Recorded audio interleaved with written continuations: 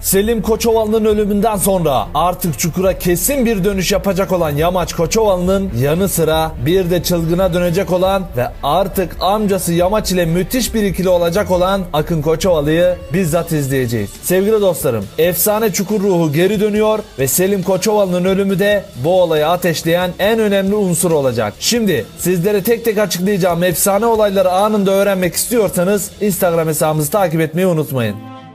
İlk önce herkesi derinden etkileyecek olan Selim Koçovalı'nın ölümüyle başlayalım. Selim Koçovalı yaşanan Çağatay'ın tuzağı sonucunda ölmeyecek. O olaydan sonra Selim yaralı bir şekilde hastaneye kaldırılacak ve hem hastane sahnesi hem de bir önceki videoda paylaştığım Selim'in cenaze sahnesi çekimleri yapılarak tamamlandı. Şimdi bazı arkadaşlarım şunu sorabilir. Selim ensesine aldığı darbe sonucunda nasıl yaralanıp hastaneye kaldırılıyor? Orada da hayatını kaybediyor. Bu soruyu soracak olan dostlarım için ben önceden cevap veriyorum. Selim'i hastaneye kaldırılmadan önce bayıldığı o sahnede Selim'i daha da çok yaralayacaklar ve kanaması olacak. Bundan dolayı da hastaneye kaldırılarak hastanede yaşamını yitirecek. Sonrasında sevgili dostlarım cenaze töreni düzenlenecek ve Çukur sokaklarında yürüyüş ile birlikte mezarlık sahnesine geçilecek. Bu sahneler efsane duygu yüklü olacak ve asıl büyük savaş bundan sonra başlayacak. Takım elbiseli yamaç artık eski tarzına dönerek bundan sonra Erdenetlere çalışmayacak. Bu çok güzel bir haber.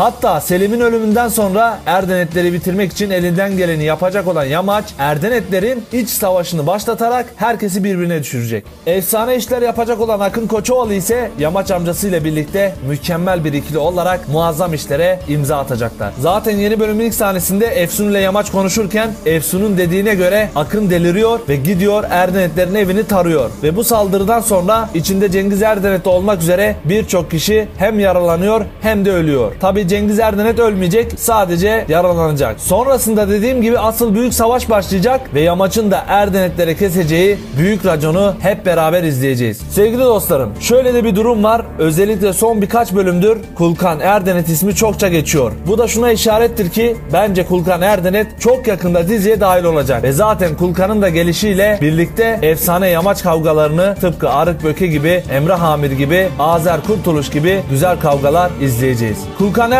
için her ne kadar Çağatay Ulusoy ismi ön planda olsa da gönüller Çağatay Ulusoy dese de henüz anlaşılmış bir durumun olmadığını belirtiyorum. Vartolu Saadettin abimiz beklenenden daha kısa bir süre içinde diziye geri dönecek. Bu güzel haberi de sizlerle paylaşalım. Ayrıca ne zaman döneceği sorusunu yorum kısmından soran her kardeşime de tek tek cevap vereceğim. Şöyle de üzücü bir haberi sizlerle paylaşmak istiyorum. Büyük ölçüde gerçekleşecek olan bu sezonun final yapma olasılığı gündemde. Ve dediğim gibi büyük ihtimalle Çukur 4. sezonu final yaparak efsane dizimizi sonlandırabilir. Durum böyle olunca senarist elindeki bütün olanakları reytingleri nasıl yükseltir diye kullanacak ve efsane sahnelerle karşımıza mükemmel bir senaryo çıkacaktır. Bu arada dostlarımızın bize verdiği bir haberi de sizlerle paylaşalım. Bakın bu haberi sağ olsun Instagram hesabımdan bazı dostlarımız benimle paylaştı. Söylenene göre yine flashback sahnesiyle İdris Baba karşımıza çıkacak. Büyük ihtimalle de eğer böyle bir çekim yapılırsa bu Selim'in vedasıyla ilgili de olabilir. Efsun ve Nehir senaryoları da tıkandı ve bu karakterlerden en az biri veda edecek. Bunu daha önceki videolarımda da sizlerle paylaşmıştım.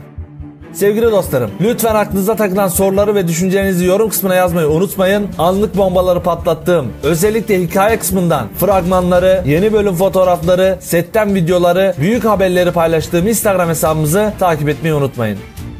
Bir sonraki videoda görüşene dek hoşçakalın. Kendinize iyi bakın.